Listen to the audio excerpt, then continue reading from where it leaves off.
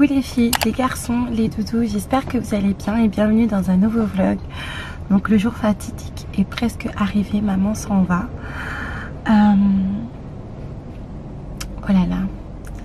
Ces derniers jours-ci, j'ai pas posté vraiment des vidéos comme je voulais le faire, comment je l'avais imaginé, comment je vais continuer par la suite de le faire.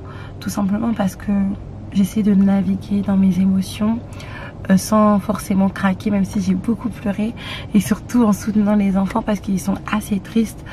Vous savez ces vacances elles ont été magnifiques mais vraiment magnifiques. Peut-être que vous n'allez pas comprendre parce que j'ai pas fait de grandes sorties. Et pourtant j'en avais prévu. Aller au Black Diamond aller au sud aller dans le nord etc aller aux zoo avec les enfants. Vraiment essayer de créer euh, des souvenirs incroyables avec ma maman. Et finalement ça a été mis à mal avec euh, la perte, la casse euh, de ma voiture euh, au final. Et on est resté à la maison. Moi que j'étais dans mes problèmes et maman avec moi et les enfants. Et ça passer du temps de qualité en famille. Et c'est comme ça qu'on crée les meilleurs souvenirs. Et c'est comme ça que les liens se resserrent plus. De nos jours on se laisse un petit peu voilà distraire par euh, certaines choses pour créer des magnifiques souvenirs. faut partir en voyage, faut aller à l'Afro faut aller en soirée euh, par-ci, par-là, tous les week-ends, etc. Mais je vous assure que les souvenirs les plus beaux, c'est les souvenirs les plus simples.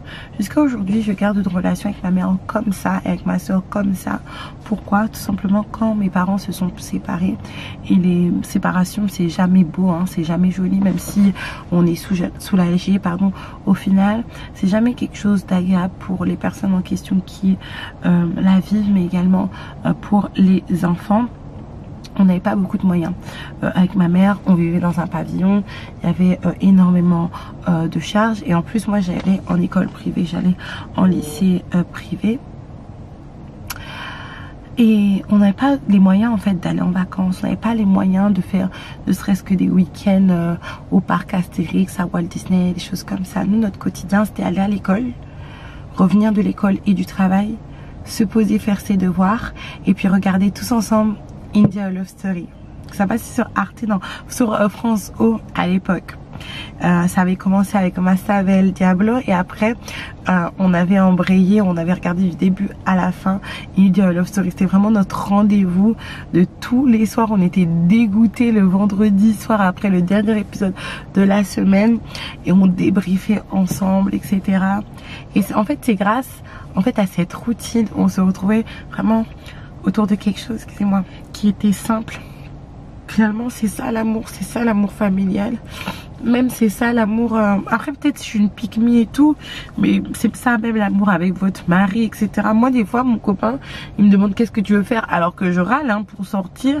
Et finalement je dis non vas-y rester à la maison parce que c'est comme ça que j'ai été élevée euh, rester ensemble profiter les uns des autres tant qu'il en a encore temps parce qu'on n'est pas euh, éternel. Ou même sans ne pas être éternel entre guillemets demain si Dieu veut on n'aura pas forcément la santé ou on n'aura pas forcément la possibilité comme moi. Je l'ai pas aujourd'hui étant donné que j'habite loin. Même si ça n'a pas été facile de gérer tout un tas de choses je vais pas vous mentir le travail et tout la fatigue le fait d'être en indépendant le fait euh, de pas mal de choses on s'est vraiment beaucoup amusé, on a vraiment beaucoup rigolé, il y a eu quelques disputes, oui, mais euh, ça n'a pas été trop, voilà, euh, flamboyant parce qu'on a des forts caractères à la maison ça me fait penser que je suis loin de ma famille, que ma famille me manque énormément. C'est vrai qu'au quotidien, je le sens pas beaucoup parce qu'il y a FaceTime, parce qu'il y a ceci, parce qu'il y a cela. Mais euh, c'est vrai que le virtuel a ses limites, en fait. Le fait de parler avec ma maman pendant des heures et puis pas me rendre compte, je m'endors, etc. Le fait de voir mes enfants avec ma mère, ça me fait beaucoup de bien ça me, ça me rappelle à quel point en fait j'aime ma famille. Vous avez, moi aujourd'hui, bon, vous savez que moi j'ai 20 ans, j'ai 21 ans là bientôt au mois de novembre, mais bon, sur ma carte d'identité c'est écrit que je suis dans 93. Et donc du coup, j'ai, je commence à avoir un petit âge sur moi au final. Euh, et c'est juste aujourd'hui que je me rends compte de l'amour de mes parents si vous êtes adolescent, faites attention à ce que vous dites, faites attention à ce que vous faites. Je me rends compte, en fait, surtout avec la relation que j'ai avec mes parents à présent, parce que mes parents sont mes meilleurs amis. C'est-à-dire que dès qu'il arrive quelque chose, je décroche mon téléphone, j'appelle papa, j'appelle maman.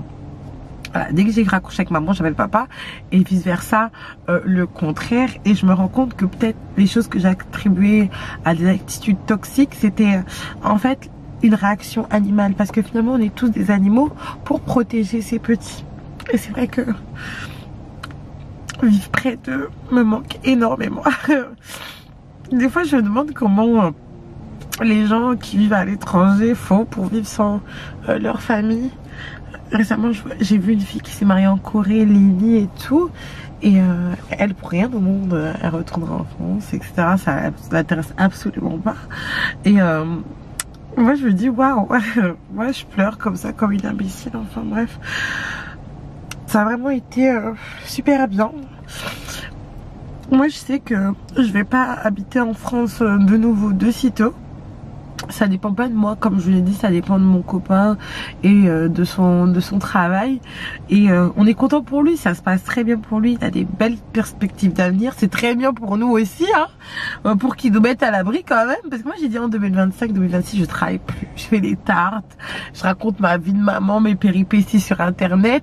Je fais une petite vidéo régime quand je reprends un petit peu de poids des routines. Mais je travaille plus. Je vais m'occuper de mes enfants donc il faut qu'il prenne en charge. Je lui ai dit ça. Hein. il m'a dit oui. Il me dit de laisser jusqu'à 2025-2026. Mais en fait, en soi, vu comment les choses évoluent pour lui, je sais que ah oui ça sera ça sera pas de sitôt que que finalement je pourrais vivre la vie que j'ai toujours fui en fait de mes parents, me dire que voilà, ce week-end, ces vacances-ci, je vais laisser mes enfants chez mes parents. Je vais passer un week-end chez mes parents, écouter leurs euh, trucs qu'ils ont à dire sur moi, que je fais pas bien, etc. Mais c'est bien, hein, parce que quand on aime une personne, on veut qu'elle évolue dans, dans ce qu'elle fait, etc. Et c'est bien, je suis contente pour lui, il est capitaine, c'est très très bien.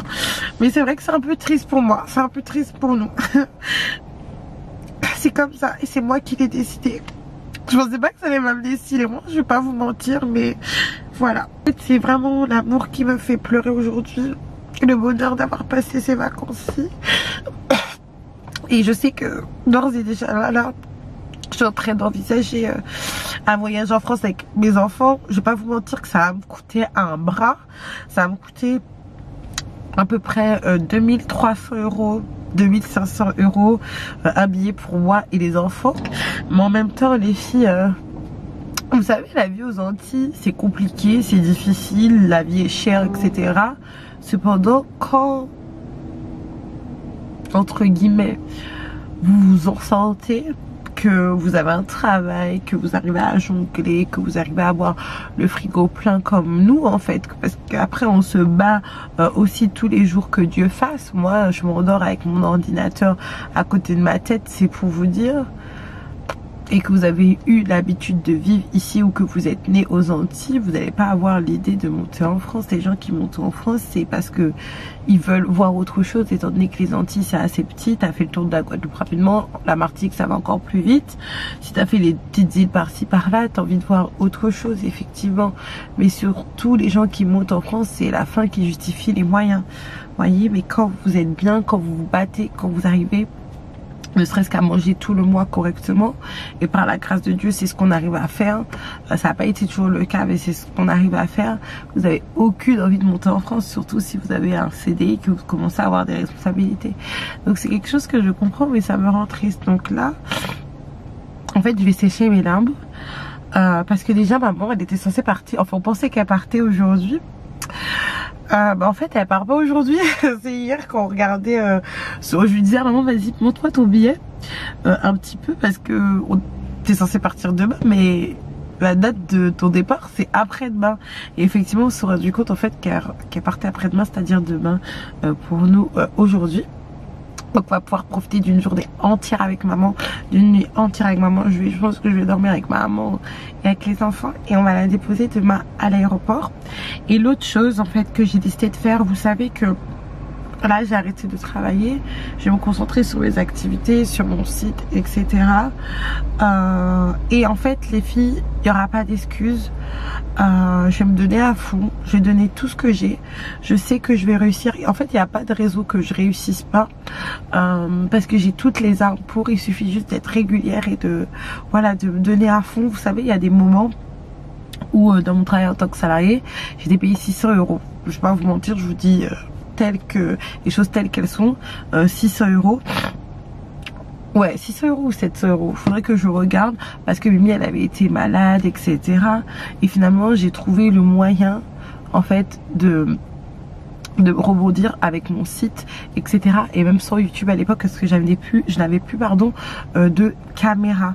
Donc en fait là étant donné que je suis totalement à la maison et que normalement je j'ai une réponse au niveau du pôle emploi il leur manquait des documents donc j'aurai un moyen de, de subsistance. Il n'y a pas de, de raison en fait que je réussisse pas. Et tout ce travail acharné va m'aider en fait à aller voir ma famille. Je vais essayer de les, de les voir au mois de, au mois de décembre pour la Noël et pour sûr on ira pendant les grandes vacances. Je vais essayer d'aller euh, deux mois dont un mois avec euh, mon chéri. Euh, il va mutualiser tous ses congés pour que l'on puisse du coup aller voir bah, ma famille pour qu'il lui aussi puisse aller voir sa famille au, final parce qu'il n'est pas chez lui non plus c'est un étranger comme moi ici. Beaucoup d'émotions vraiment finalement, en fait, ça me mal de pleurer parce qu'en fait, j'ai beaucoup de choses que beaucoup n'ont pas ici, n'ont pas la possibilité de faire. Mais euh, c'est vrai que ma famille me manque beaucoup. J'ai pas vu mon papa depuis 6 ans.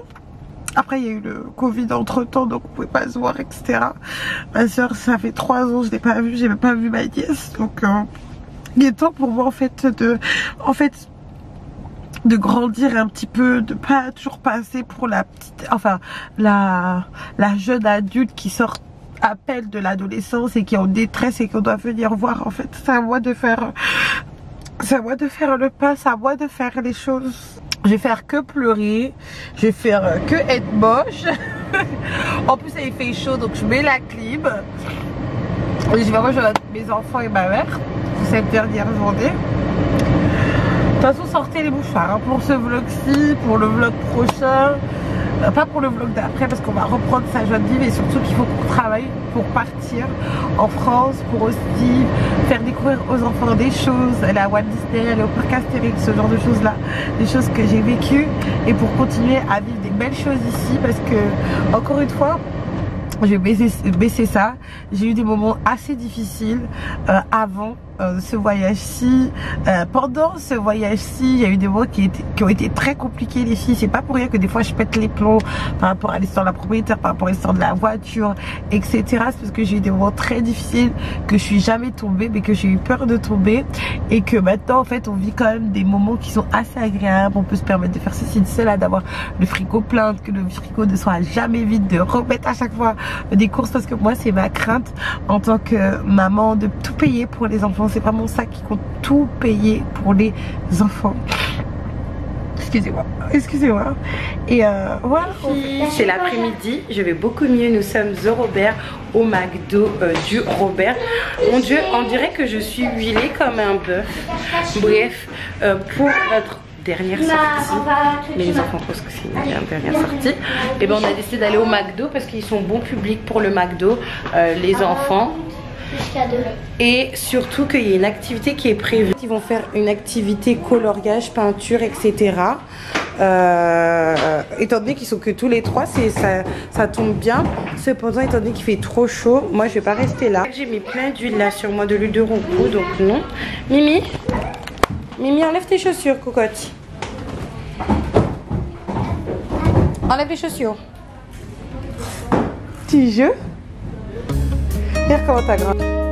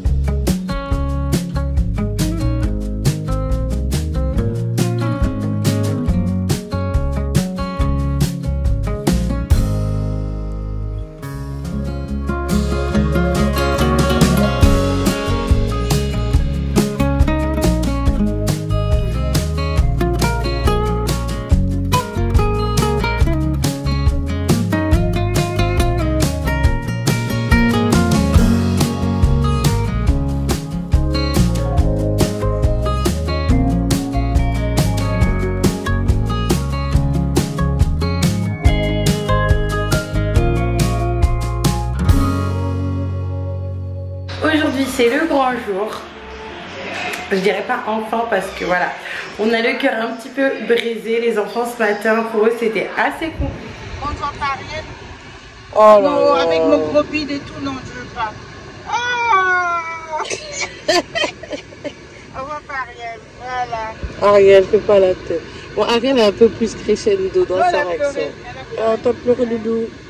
Pleure pas, tu peux te voir, mamie. Euh, mais bon, c'est le grand jour, maman euh, s'en va.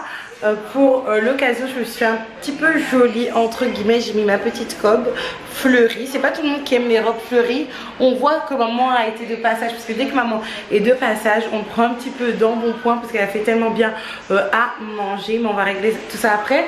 J'ai laissé mes cheveux ouverts. N'hésitez pas à me dire ce que vous en pensez. Pour les personnes qui vont poser la question, non, je n'ai pas fait de wave. Non, mes cheveux ne sont pas défrisé. Si vous voulez, je vous ferai une euh, vidéo euh, routine, mais elle est super simple, elle est super euh, low cost également.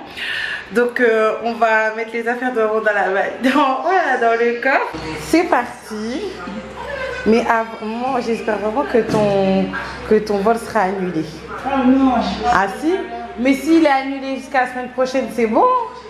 Mais ça va faire toujours la même chose de toute manière. Moi, je suis déjà une retraitée. Hein. Bah, bien sûr que oui, la retraite c'est pas à 64 ans Oui, c'est Dans quelques années, hein. Dans 2-3 ans, c'est la retraite pour toi.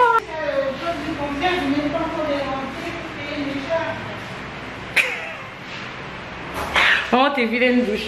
Avant de partir, j'avais envie de vous montrer quelque chose très très, vraiment très très rapidement. J'ai trouvé un petit peu le Action Martiniquais c'est juste dingue. J'ai acheté tout un tas de choses. Après, maman a rangé une partie. Il faut vous, vous, oh là là, je vais dire une bêtise. Il faut savoir que en fait, ici en Martinique, on idolâtre beaucoup l'hexagone, les prix moins chers, les prix moins chers, les prix moins chers. Mais il faut savoir que la vie a beaucoup changé depuis. Euh, donc du coup, c'est vrai que la vie moins chère, c'est un petit peu plus compliqué. Même avec euh, des magasins comme Action, euh, même comme Ziman, etc. Maman d'ailleurs, j'ai vu à Ziman que les prix ont explosé. Ah oui C'est vraiment plus évident parce que vous savez, moi, j'habitais euh, du coup à Saint-Quentin et à Saint-Quentin, il n'y avait pas Primark. Et le petit Primark, entre guillemets, c'est Ziman. Il y avait vraiment des choses pas chères et tout. Et là, j'ai vu les prix, ils ont vraiment explosé. Après, c'est vrai qu'on peut commander directement en ligne sur Ziman pour se donner une idée. Mais la chose que nous, on ne pourra pas profiter malheureusement pour ceux qui habitent euh, en outre-mer ou même dans des régions où il n'y a pas Ziman, en fait, c'est des promotions. Parce que des fois, en fait, il y a des promotions, des promotions flash qui sont disponibles que dans tel, tel, tel, tel magasin. Mais il faut savoir que, en fait, il faut savoir que l'Eldorado d'antan n'existe plus.